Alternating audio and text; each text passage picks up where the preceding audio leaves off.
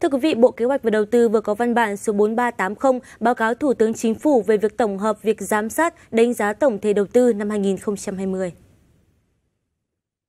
Theo báo cáo, tính đến thời điểm Bộ Kế hoạch và Đầu tư chốt danh sách để tổng hợp số liệu ngày 31 tháng 3 2021 trên hệ thống thông tin của Bộ Kế hoạch và Đầu tư đã nhận được báo cáo giám sát, đánh giá tổng thể đầu tư năm 2020 của 113 trên 125 cơ quan, đạt 90%, gồm 61 trên 63 tỉnh thành phố trực thuộc trung ương, 35 trên 42 cơ quan bộ, cơ quan thuộc chính phủ và tư đường, 16 trên 19 tập đoàn kinh tế, tổng công ty 91, Bộ Kế hoạch và Đầu tư cho biết, việc cập nhật số liệu vào hệ thống thông tin góp phần nâng cao chất lượng giám sát, đánh giá đầu tư, giảm bớt khối lượng báo cáo giấy, hướng đến mục tiêu các thông tin của các chương trình, dự án sử dụng vốn nhà nước sẽ được đăng tải trên mạng internet theo quy định của các tổ chức, cá nhân và xã hội tra cứu cùng giám sát, đánh giá.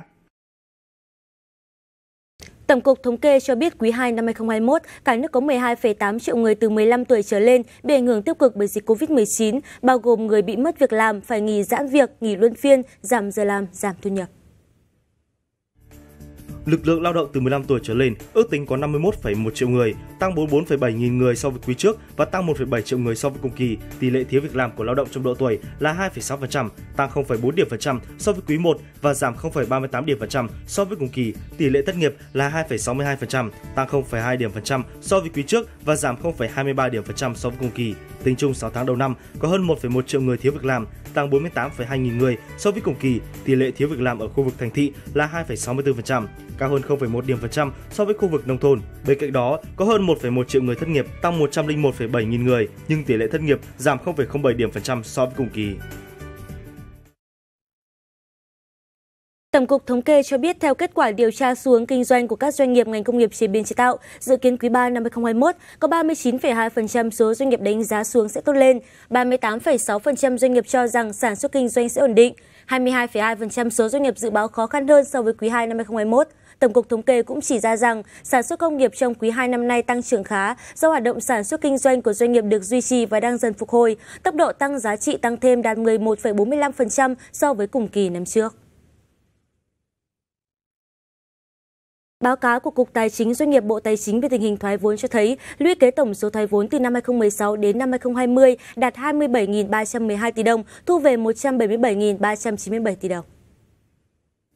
Theo Cục Tài chính Doanh nghiệp Bộ Tài chính, con số này gấp 6,5 lần giá trị sổ sách, trong đó bao gồm số thoái vốn của Tổng Công ty Đầu tư và Kinh doanh vốn nhà nước SCIC tại 136 doanh nghiệp với giá vốn là 6.758 tỷ đồng, thu về 37.185 tỷ đồng. Trong 6 tháng đầu năm 2021, các doanh nghiệp đã thoái vốn với giá trị là 286,6 tỷ đồng, thu về 2.165 tỷ đồng. Trong đó, thoái vốn nhà nước tại ba đơn vị thuộc quyết định số 908 của Thủ tướng Chính phủ với giá trị 52,5 tỷ đồng, thu về 84,1 tỷ đồng. Thoái vốn của tập đoàn, tổng công ty tại 9 doanh nghiệp thuộc Tập đoàn Cao su Việt Nam, Tập đoàn Viettel, Nhà xuất bản Giáo dục Việt Nam, VNPT, Tổng công ty Thái Sơn với tổng giá trị là 234,1 tỷ đồng, thu về 2.081,3 tỷ đồng.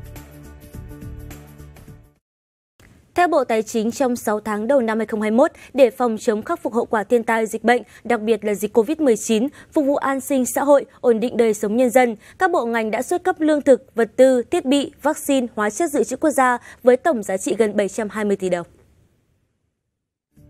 Bộ Tài chính cho biết, ngành dự trữ nhà nước đã xuất cấp mặt hàng với tổng giá trị khoảng 648,5 tỷ đồng, gồm 55.834 tấn gạo trị giá khoảng 641 tỷ đồng, hơn 1.451 tấn muối ăn trị giá khoảng 3 tỷ đồng để hỗ trợ người dân các tỉnh Quảng Bình và Hà Tĩnh bị ảnh hưởng bởi thiên tai năm 2020, xuất 18 bộ máy phát điện loại 30 kVA cho tỉnh Quảng Nam để khắc phục hậu quả mưa lũ năm ngoái với giá trị khoảng 4,5 tỷ đồng. Các cục dự trữ nhà nước, khu vực được giao nhiệm vụ xuất hàng cứu trợ, hỗ trợ đã chủ động kế hoạch xuất kho, vận chuyển, phối hợp chặt chẽ với Ủy ban nhân dân các tỉnh và các đơn vị được giao tiếp nhận hàng dự trữ quốc gia. Do vậy, việc xuất cấp cứu trợ bảo đảm nhanh chóng, kịp thời và an toàn. Theo báo cáo mới nhất của Cục Thuế Hà Nội, tổng số thu ngân sách 6 tháng đầu năm 2021 do đơn vị này thực hiện là 114.750 tỷ đồng. Số thu này đạt 52,9% dự toán pháp lệnh, tăng 6,6% so với cùng kỳ năm 2020. Cục Thuế Hà Nội cho biết, động lực chính cho kết quả thu ngân sách của Cục Thuế đến từ khu vực sản xuất kinh doanh với số thu 6 tháng đầu năm 2021 được 65.179 tỷ đồng, tăng 26,8% so với cùng kỳ năm trước. Dữ liệu từ Bộ Công Thương cho thấy giá nhiên liệu trên thế giới đang tăng đột biến nên kỳ điều chỉnh ngày hôm nay, mỗi lít xăng trong nước có thể tăng tới 1.300 đồng. Theo Bộ Công Thương, giá xăng thành phẩm bình quân trên thị trường Singapore cập nhật đến ngày 8 tháng 7 của RON 92 dùng để pha chế xăng E5 RON 92 trung bình là 83,6 đô la Mỹ trên một thùng, xăng RON 95 là 85,8 đô la Mỹ trên một thùng, tăng lần lượt là 6 và 7% so với kỳ trước. Riêng xăng RON 95 có lúc lên gần 90 đô la Mỹ trên một thùng, cao nhất trong 6 tháng qua. Cùng với giá xăng dầu, dầu cũng biến động mạnh. Nhiều doanh nghiệp đầu mối ở thành phố Hồ Chí Minh cho rằng giá xăng dầu thế giới đang cao đột biến, bình quân giá xăng đến thời điểm ngày 10 tháng 7 là 87 đến 88 đô la Mỹ trên một thùng. Do đó, kỳ điều chỉnh mới này nếu không có tác động đến quỹ bình ổn, giá xăng sẽ tăng 800 đến 1.300 đồng trên một lít, còn giá dầu có thể tăng khoảng 500 đồng. Ngược lại, nếu cơ quan điều hành vừa trích quỹ bình ổn, vừa cho giảm giá xăng thì có thể tăng khoảng 700 đồng trên một lít. Việt Nam Report cho biết 75% số doanh nghiệp tham gia bảo hiểm khảo sát đã ghi nhận kết quả tích cực trong quý 1 năm 2021, nhưng trước diễn biến phức tạp của dịch COVID-19, họ cũng trở nên thận trọng hơn về triển vọng kinh doanh những tháng cuối năm.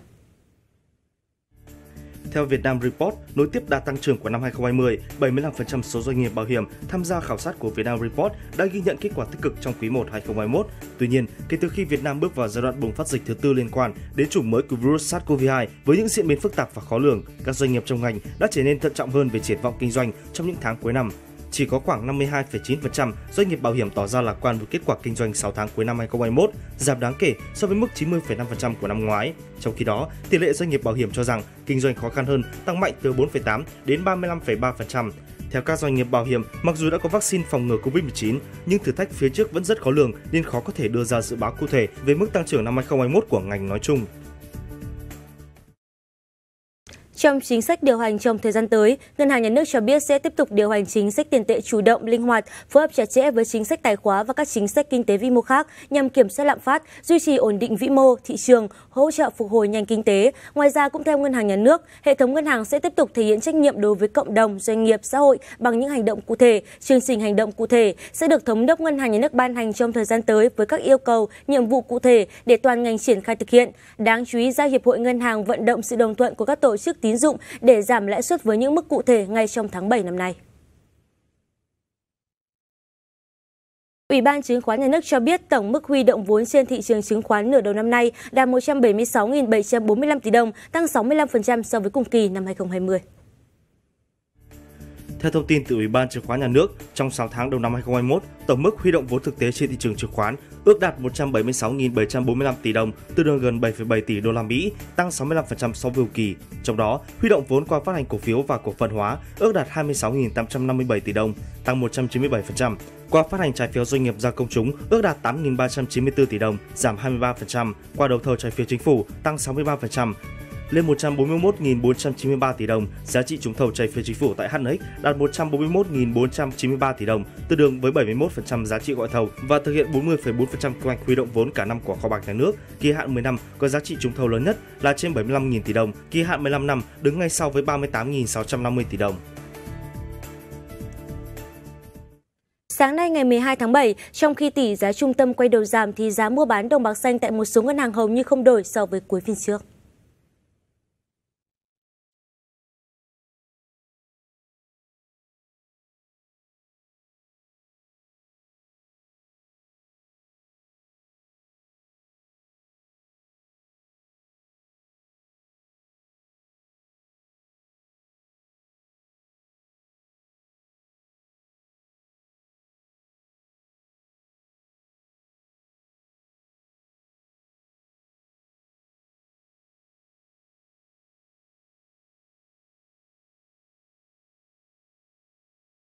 Tiếp theo chương trình là hoạt động của một số doanh nghiệp. Kính mời quý vị cùng theo dõi.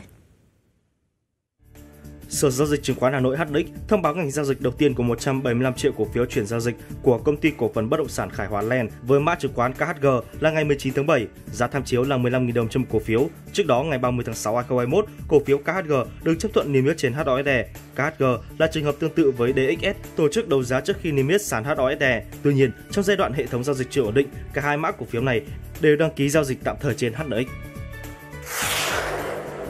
Tiêu thụ xi măng tăng mạnh trong nửa đầu năm là lý do khiến Vsem cải thiện mạnh chỉ tiêu lợi nhuận, cán mốc 1.250 tỷ đồng, tăng 23% so với cùng kỳ năm ngoái. Tổng công ty xi măng Việt Nam Vsem vừa sơ kết công tác sản xuất kinh doanh 6 tháng đầu năm 2021, thống nhất mục tiêu nhiệm vụ quý 3 năm 2021.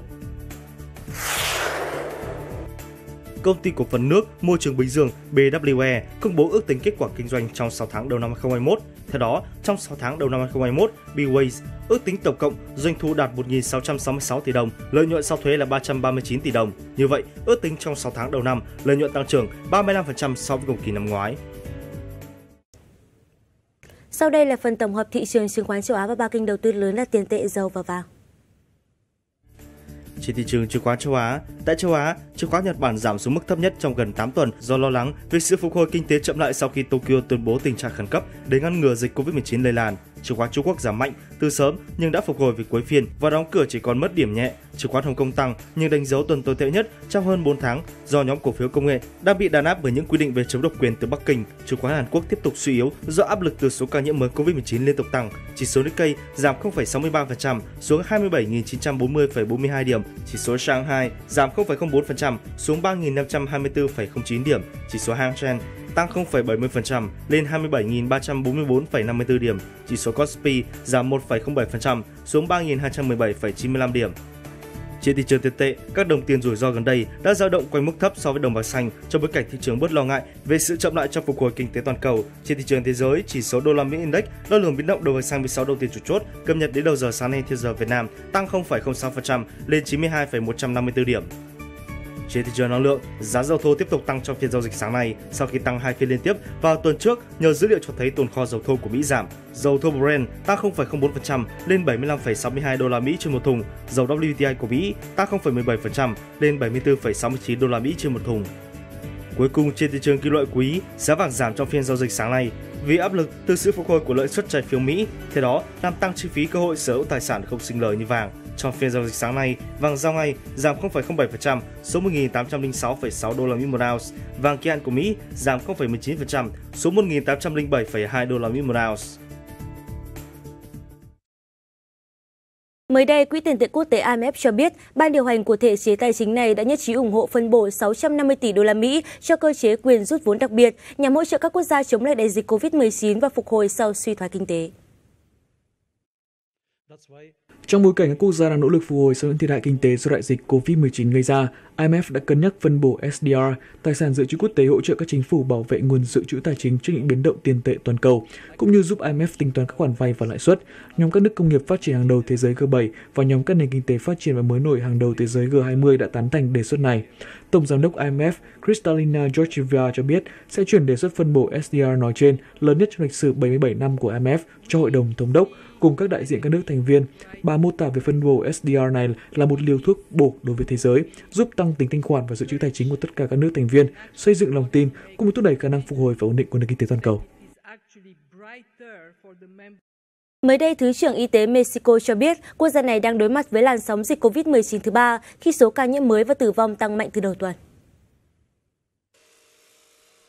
Số liệu thống kê cho thấy trong vòng 24 giờ qua, Mexico đã ghi nhận 9.452 ca nhiễm mới, cao nhất kể từ ngày 14 tháng 2 vừa qua. Trong 3 ngày vừa qua, quốc gia này đã có gần 26.000 ca mắc mới, trong đó 769 ca tử vong. Tính tới thời điểm hiện tại, Mexico đã ghi nhận tổng số gần 2,6 triệu ca nhiễm, trong đó có trên 234.000 ca tử vong. Hiện tại Mexico không tiến hành xét nghiệm đại trà, số ca nhiễm được cơ quan y tế công bố là người dân có triệu chứng bệnh tự đi xét nghiệm. Bên cạnh đó, những trường hợp bị nhiễm với triệu chứng bệnh nhẹ tự cách ly tại nhà. Mexico đang đẩy nhanh tiến độ tiêm chủng trên toàn quốc nhằm đạt mục tiêu tiêm ít nhất một liều vaccine cho người có độ tuổi từ 18 trở lên vào tháng 10 tới trước khi mùa đông tới nhằm tránh bùng phát dịch.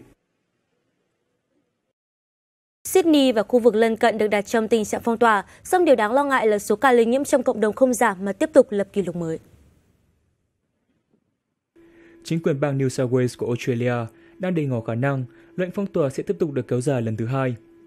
Trong thông báo đưa ra vào hôm 9 tháng 7, Thủ hiến bang New South Wales cho biết bang này vừa có thêm 44 ca COVID-19, trong đó có 29 ca trong cộng đồng. Vì vậy, nhiều khả năng trong những ngày tới, số ca COVID-19 tại bang này sẽ tiếp tục tăng. Không chỉ vậy, số trường hợp F1 cũng đã tăng gấp đôi chỉ trong đêm qua, lên tổng số 14.000 người.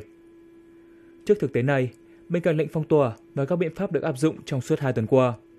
Thủ hiến bang New South Wales vừa ban hành bổ sung các quy định kiểm soát dịch bệnh như một gia đình chỉ được một người ra ngoài để đi chợ, không được tiếp khách tại nhà, chỉ được tập thể dục theo nhóm không quá hai người và tập ở những nơi cách nhà không quá 10 km. Cơ quan dược phẩm Mỹ Pfizer cho biết sẽ yêu cầu cơ quan quản lý dược phẩm và thực phẩm Mỹ phê duyệt mũi vaccine COVID-19 nhắc lại của mình trong tháng 8 tới. Ông Michael Dostan, nhà khoa học hàng đầu của Pfizer cho biết, vaccine của hãng này có hiệu quả cao trong phòng và trong biến chủng Delta. Tuy nhiên, vẫn có rủi ro tái nhiễm sau 6 tháng vì kháng thể có thể giảm dần. Tuy nhiên, theo ông Dostan, kể cả khi mức kháng thể bị giảm đi, vaccine của Pfizer vẫn có mức hiệu quả 95% đối với ca mắc COVID-19 nghiêm trọng. Ông Dostan nhấn mạnh, dữ liệu ban đầu từ các nghiên cứu của Pfizer cho thấy một mũi tiêm nhắc lại thứ ba sẽ sản xuất ra mức kháng thể cao hơn từ 5 tới 10 lần mũi tiêm thứ hai. Ông Dostan cũng tin rằng các mũi tiêm nhắc lại đặc biệt quan trọng đối với những người cao tuổi. Do đó, Pfizer dự kiến sẽ yêu cầu cơ quan quản lý dược phẩm và thực phẩm Mỹ cấp phép sử dụng mũi tiêm nhắc lại của hãng này trong tháng tới. Pfizer hiện đang có kế hoạch sản xuất 3 tỷ liều vaccine trong năm nay và 4 tỷ liều trong năm tới.